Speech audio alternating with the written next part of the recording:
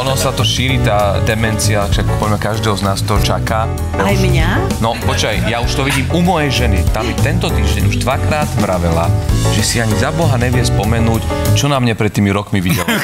7. Dnes o 21.50 na Jojke.